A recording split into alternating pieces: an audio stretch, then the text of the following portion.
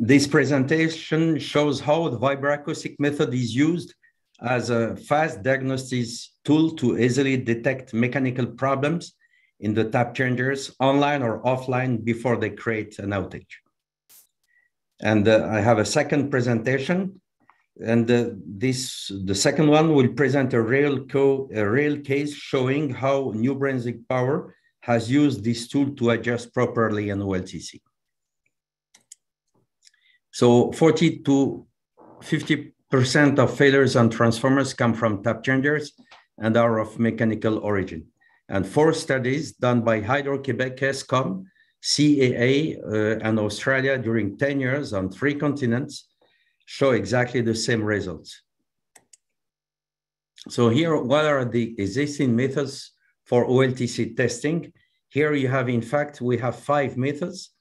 The, you have the vibroacoustic method, the motor current method, the DRM, dynamic uh, resistance, the DGA, dissolved gas analysis, the thermography, and uh, these tables come from CIGRE, and uh, they uh, compare which one is the best for uh, what kind of problems.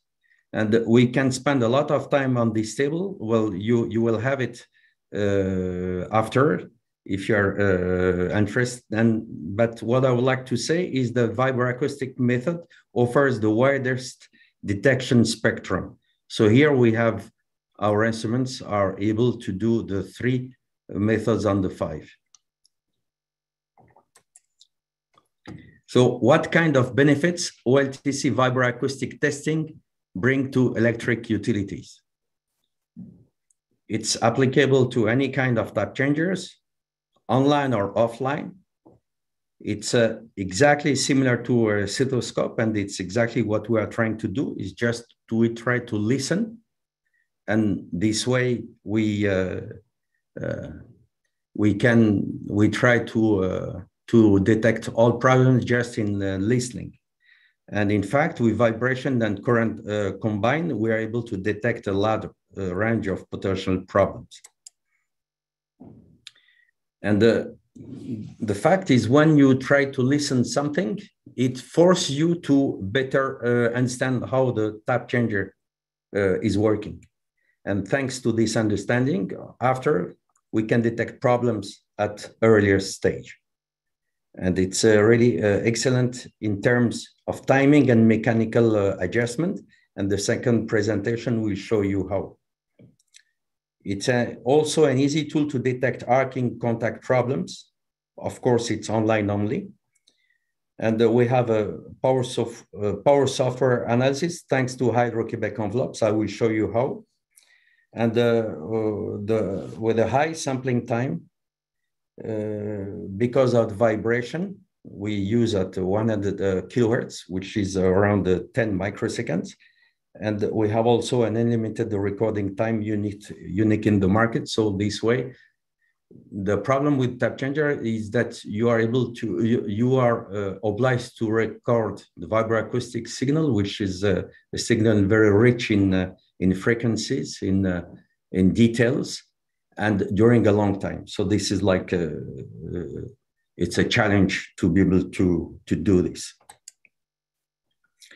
And also it's an excellent tool to help the user to decide which OLTCs are due for a maintenance operation because the vibroacoustic uh, recording, it's exactly like a stethoscope. So you just listen. So it's a, it's a quick, uh, quick installation for the, for the, for the accelerometer and for the motor current uh, uh, transducer. And it takes maybe 15 minutes to install and uh, and after it's a quick uh, with a quick uh, recording so in testing oltc before and after maintenance this tool can be used for quality control and also in testing year after year, trending analysis becomes easy and allows a reduction of maintenance interventions. And our goal is, of course, the reduction of the transformer failures. So this uh, uh, typical uh, resistive OLTC type diverter switch operation sequence. Here I just focus on only one thing. It's the transition of a diverter switch is done in only 50 millisec milliseconds to avoid overheating the resistance. So we're able to listen all the impacts of the mechanism during a step up or step down operation. And uh, the motor operates between two and 12 seconds. So this is like our first uh, event, which is important to know to be able to analyze uh, uh, the how the OLTC is working. And the, the motor drive mechanism here, you have a typically an old, uh, uh, I like this picture because it's old and uh, nothing, everything is is uh, like uh, transparent. So you can see like the motor, but the, on the new uh, cabinet, it's really, everything is hidden. So it's hard to, to, to understand what you have behind. So in fact, this motor allows the tap changer to move from a position to another and in the recording, analyzing the AC or DC current of this motor during the step up or step down uh, operation, we're able to know if the mechanism are forcing or not. And the motor current allows us also to start and stop the recording. So with this, thanks to the motor current, we're able to just to have a window the, uh, of recording. So this way we just focus on this event.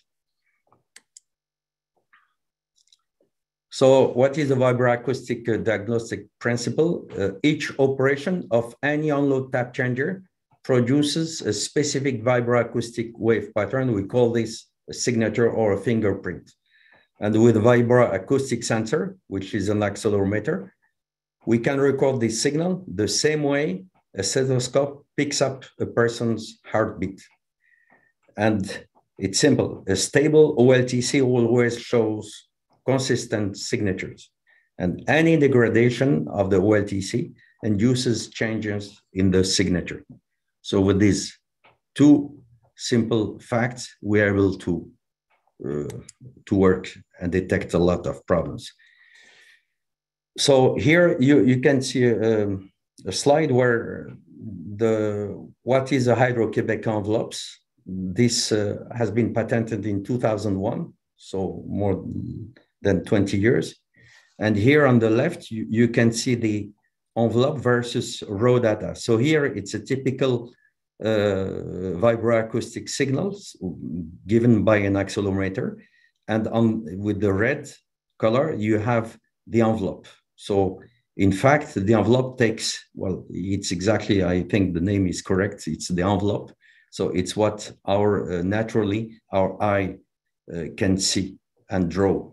So, and uh, from this on the left, you we got we calculate what we call the Hydro-Quebec envelopes, and here you have the current envelope, which is uh, on the bottom, and here you have the high, high, frequency envelope and the low frequency envelope for the for the uh, for the accelerometer. And why envelope? Because it simplifies the signal get the shape of the signal and we focus on valuable impacts only. And on top of this, it's easy to analyze and easy to compare.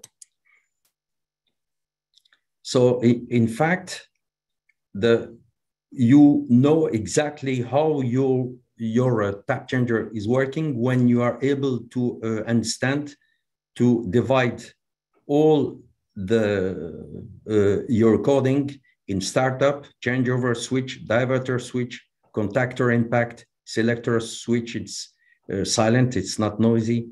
And uh, here you have a diverter switch impact. Here you have uh, the braking part. And hereafter, it's the post operation. So when you're able to, to uh, understand these signals, the, you have a great uh, understanding of the how the tap changer is working. And uh, typically, this is exactly what we do. We, we first, we, we record the motor current and the vibroacoustic. And then after, with only these two signals, we can do uh, on-site quick analysis thanks to the envelope and thanks to the to the Open OpenZenTap software, which is able to calculate this in a, in few seconds. And so here we can do a diagnosis in 15 minutes for an online test and one hour for an offline test. On the offsite deep analysis, what we have, we have uh, Excel reports. Well, of course, it's a copyright. And we have the, thanks to the envelope, the contact wear, the envelopes gives you a lot of informations. And we have what we call a diagnosis card. And we can, we're able to compare with the Zensol database of OLTC reference uh, signatures. So it's exactly our uh, method. Here you have an example of where of contact. So on the left, it's uh, like a severe wear of contacts before the intervention. So when you compare the high frequency and the low uh, frequency envelope, you can see that more than 60% of difference between the high and low frequency envelopes. And here, exactly the same test uh, uh, uh after a repair. After the intervention, less than 20% of difference between the high and low frequency uh, uh, envelopes. So here it's a good indication of the wear of contacts. Here it's really a very easy uh, to detect. You, you, you, can see the example of poor lubrication. And here you have a high torque and you can see that the, that the current is forcing uh, during this, uh, this step, you see, and it's, it's not neutral. It has to be flat an example of uh, asynchronism that you can see here. You have a 120 millisecond delay, after the end of the current envelope. This is before repair, and after repair here you have they have done just uh, an, uh, an adjustment uh, of the tap changer from one position to uh, the other one. here it's an example of arcing contact here it's online. Here you have a 2035G uh, on the left. And here uh, on the uh, offline, it's uh, the impact is only 7G. And when you compare the black signal with the red signal, which is the red is offline and the black is online. So you can see here that exactly at this time you have an arcing. So you can uh, you can after when you understand how your uh, contact is working, you can see what kind of uh, hole you are going to find with the arcing because the uh, arcing what it does is just uh, creates holes in the contact and then after the contact is damaged.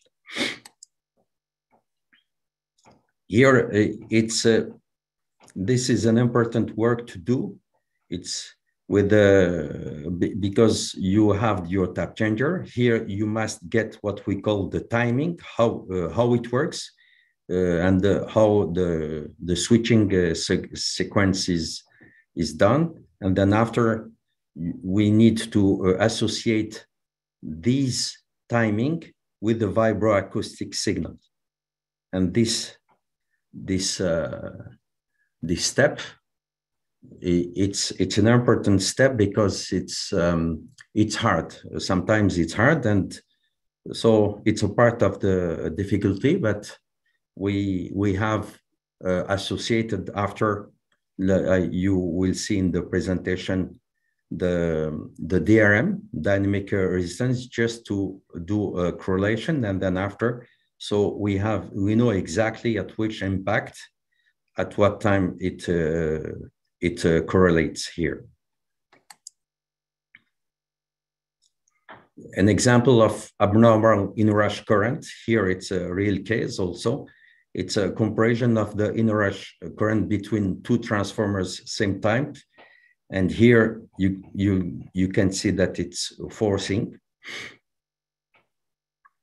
And here this the inrush was not like this inrush is normal and this one is not and this one was just a bad uh, adjustment of a, a contactor in the control cabinet so in playing with the timing so they were able to solve the problem because uh, the breaker was opening because of uh, uh this delay in the motor current for the tap changer here it's a the number, it's a current forcing also. So it's easy. And after we have, uh, you, you have to do like a break uh, analysis. so with this, all this part of uh, when you analyze all your recording, your vibroacoustic and your motor current. So, so at this time, you have done like a complete uh, uh, analysis. So as we have seen, the challenge is how to facilitate the comprehension of vibroacoustic signal because several me mechanisms are operating at the same time. So one way to address this challenge is to analyze simultaneously three recording, the vibration, the dynamic uh, resistance, and the motor current of the tap changer in action. So what equipment you need? You need the Tap 4 Plus that you, that you can see here in the bottom, the Tap DRM you see here on the top. This is so like a typical uh, connections that you do like a DRM. And I'm not going to explain the, the, how the DRM, this is on the right here, you have a typical signal where you see a typical uh, transition from one position to uh, the other one. So here you, you can see um, like a, uh, an ABB, UZ, ERN, uh, how it works. And here you can see it.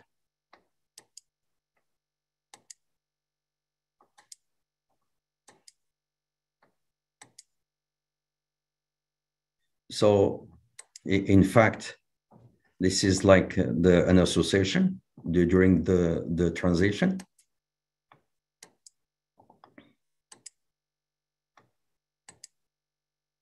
And here you have the simultaneous testing. So here you have the DRM that you see on the top, the vibration. So you, you can see exactly that this transition has produced this impact. And on the bottom, you have the motor current.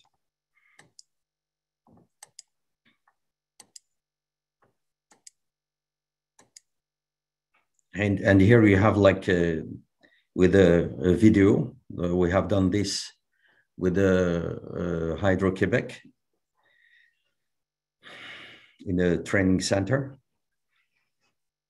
So here you, you can see the, the association, like for the first impact, the second, and the and the third. So how so it's easy after to uh, understand the impact thanks to the DRM. And here we have some examples of recording for different OLTCs done with TAP 4 Plus and, and its uh, accessory, the TAP DRM. Here you have a, uh, from MR, an example of MR, an example with the ABB. So here we have, so we have produced like an example of action plan to elaborate a predictive maintenance for transformers with OLTC. So the step one is to uh, establish your transformer list with the OLTC to monitor. The step two for each transformer, do a complete test to get a reference all taps offline and tap 4 plus tap DRM. And we have developed uh, what we call the Zensol checklist. And step three, you produce a complete report analysis for each OLTC transformer. So we have developed also a Zensol template report analysis. So I can guarantee that at the end of this report, you know exactly how, how your uh, tap changer works.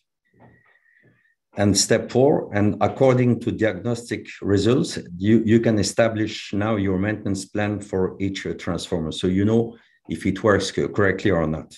And then after, you can do periodic vibroacoustic test online or offline, just to, uh, uh, to so this way you can act uh, very uh, easily. So here, as I, as I told you, this is the second uh, presentation. Uh, so it's this presentation is how we can use. So it's not easy for me because i the the engineer that has uh, done this presentation his name is uh, christian noel. He's a professional uh, engineer in uh, new brunswick power. And uh, he has presented this uh, this powerpoint at during the event sync 2023 in fredericton So here, the you can see the uh, in Caraquet T1. It's uh, north of uh, New uh, New Brunswick. The during the LTC uh, maintenance on an MR type M3D 500, and they have done a vibroacoustic and DRM performed performed before and after maintenance. So in general, there are two types of LTC, the compartment or box type and in-tank design. In our case, this LTC is an in-tank design.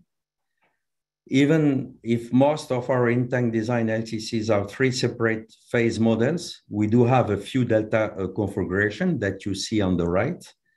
And the delta configuration has a cylinder with two diverters and the other is a regular cylinder with a single diverter. So in fact, here I have uh, some notes that on the uh, column one, you can see the diverter one on the top, which is W, the diverter two uh, here on the, uh, not the bottom, and here on the bottom, which is uh, written U, is a selector associated to the U diverter. So it's uh, so this one is associated to this one.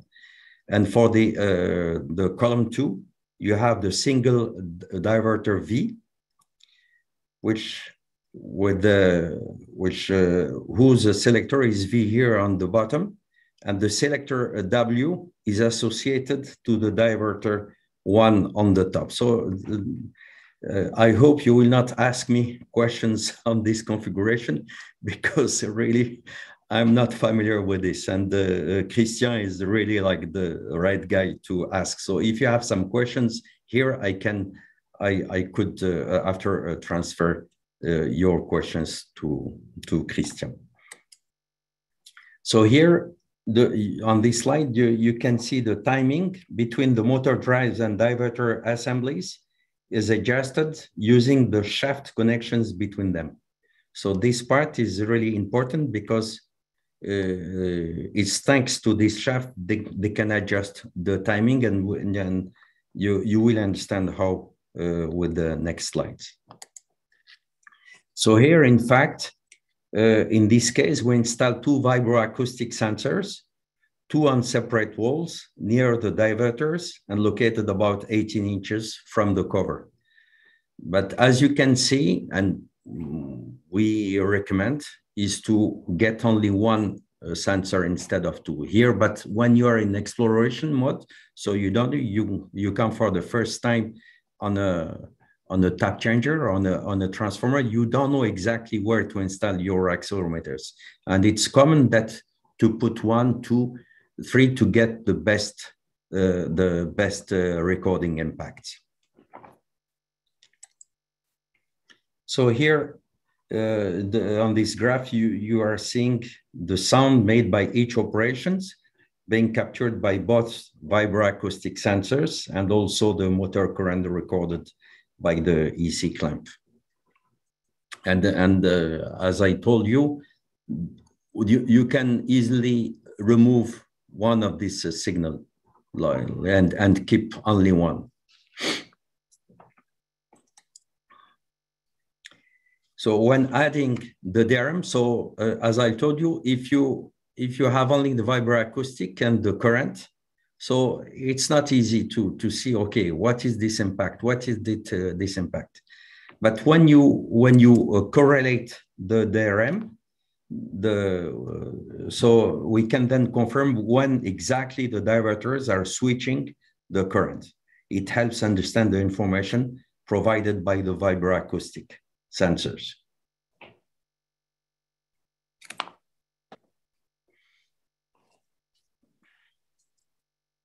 So here it's the tap up operation before maintenance. So the results shown are from before maintenance. And we are seeing all three phases side by side. From this information, we can tell that A phase is not operating in synchronization with B and C phases, as you can see. You see the, this one, you see this impact here, but here it's, it's done in the second impact. And uh, so A phase is likely the single diverter where B, B and C phases are associated with the double, double diverter cylinder. Our test plan calls for testing all the tap transition going up and also back down. In this up operation, we are seeing that A phase is operating earlier than B and C, so that, that you can see here.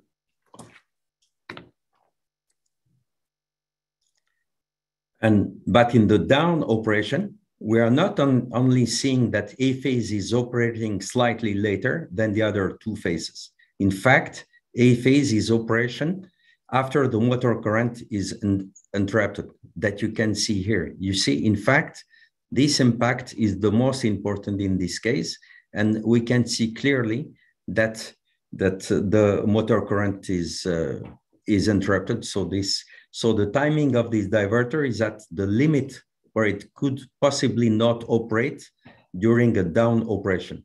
This would result in a phase being on a different tap than the other two phases. So this could be uh, dangerous.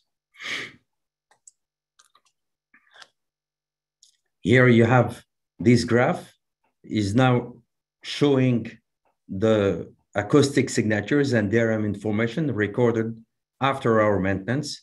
And we are seeing A phase operating now around the same time as B and C phase originally.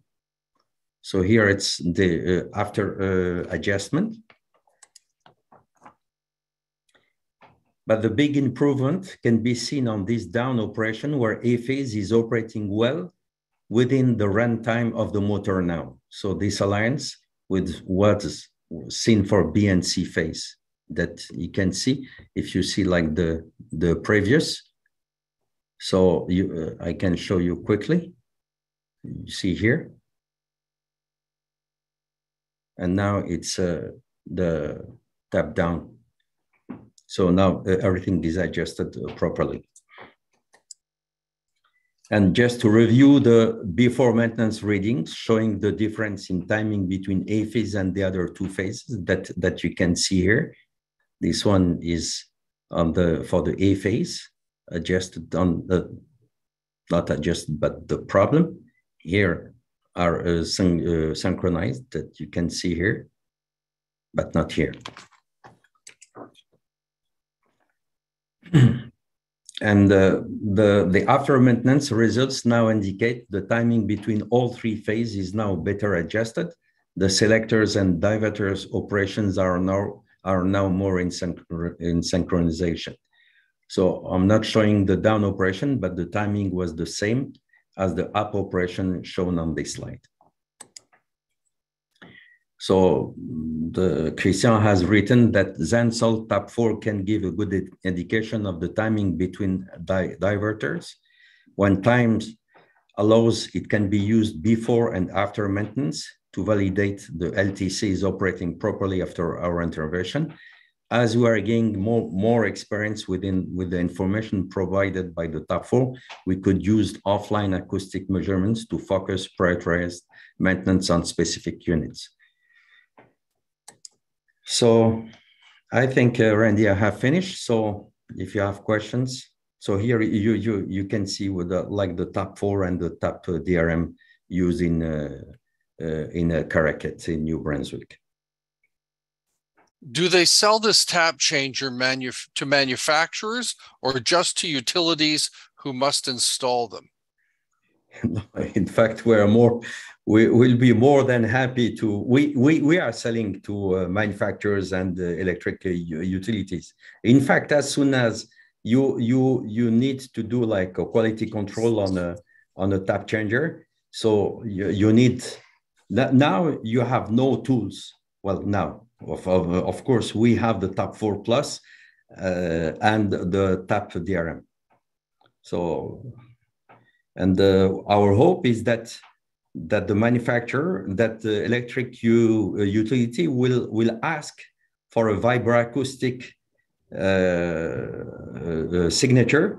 And then after, they can, they can use it as a reference when, when, the, when the transformer with the with tap changer are, are installed in the, uh, in the substations. So this way they, they can compare exactly like they do for breakers, for maintenance, for timing. Uh, you have some uh, reference recordings that, that you can use after on substation to see, to, to, to check if everything is working correctly. Okay, here's a comment from Jeffrey and a question.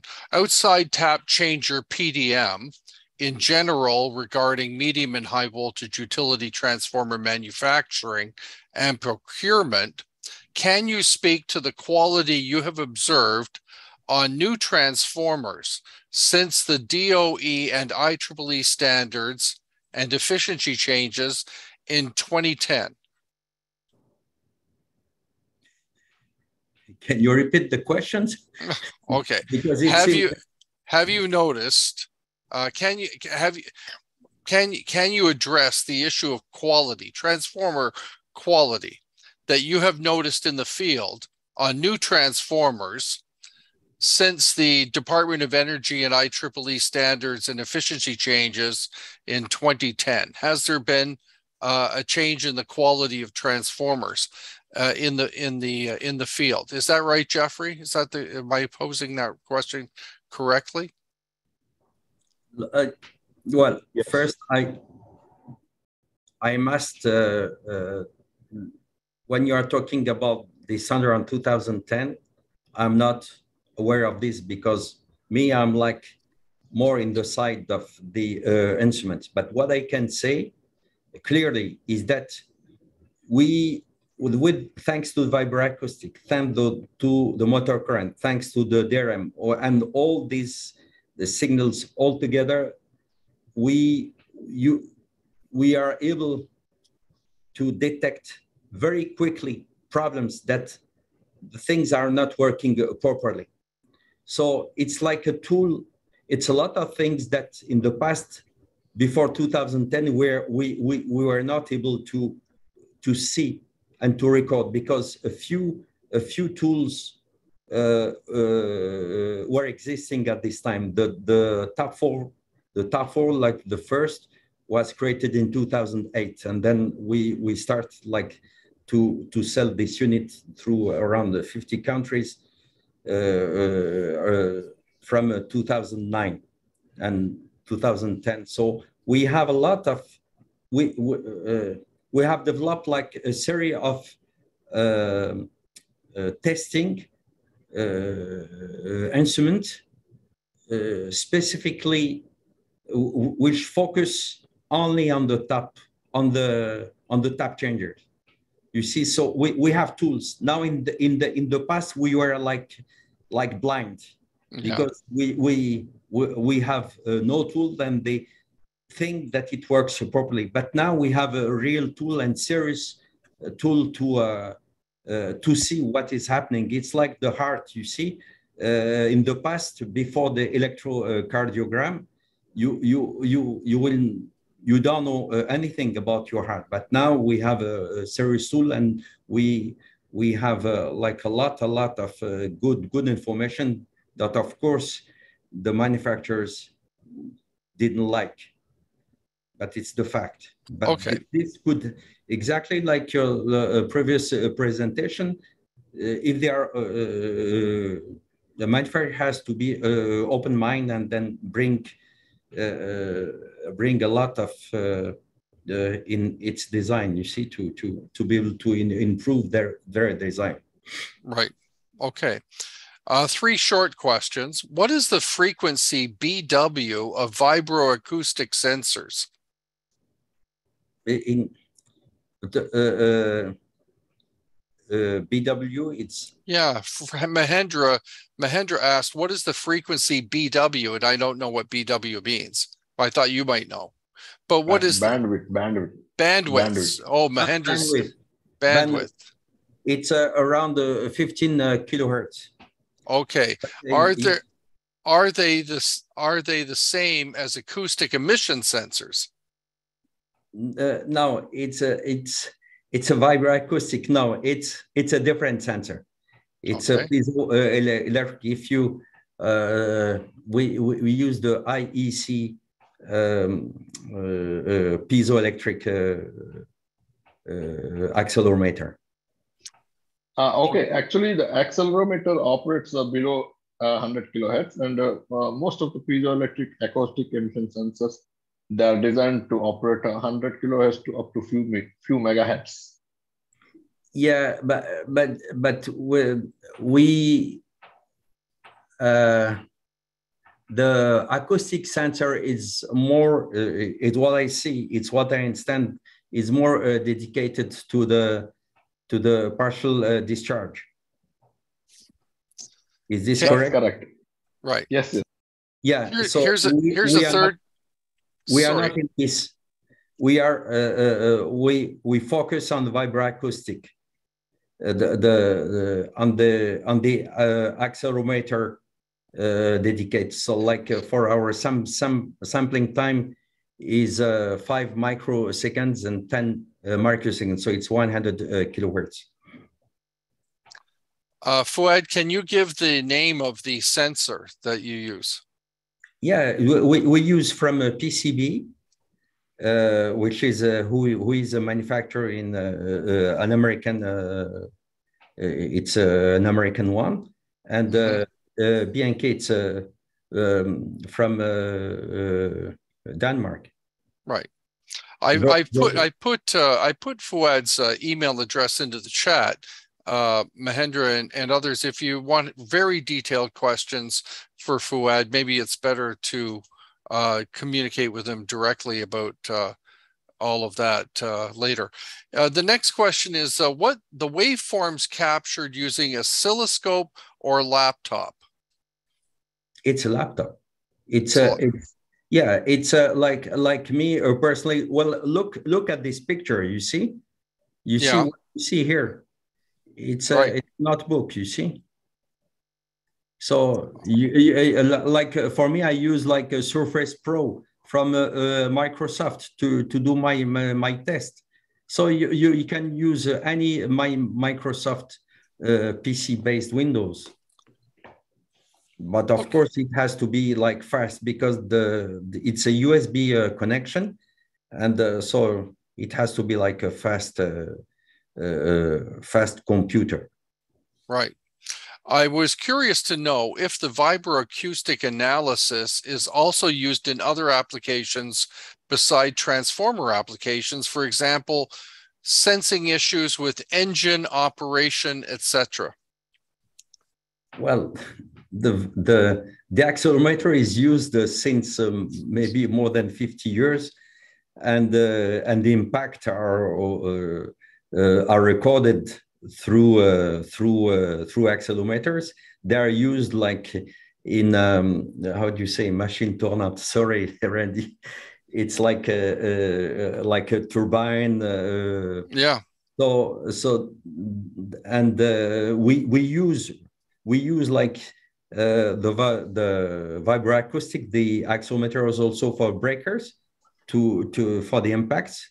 I have like uh, done uh, in this uh, with the electricity forum uh, presentation mm-hmm. on the vibroacoustic uh, applied for high voltage breakers.